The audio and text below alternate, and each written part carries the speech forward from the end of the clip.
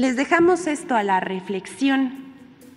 ¿Qué acaso el pueblo no tiene el derecho de opinar si está de acuerdo con que las Fuerzas Armadas permanezcan hasta 2028 en labores de seguridad? ¿Que el pueblo no tiene el derecho de expresarse sobre si la Guardia Nacional debe quedar en manos de la Sedena y continúan las Fuerzas Armadas en la seguridad pública? A su vez, la Secretaría de Gobernación tiene la obligación de promover la cultura cívica, la formación política y la participación ciudadana.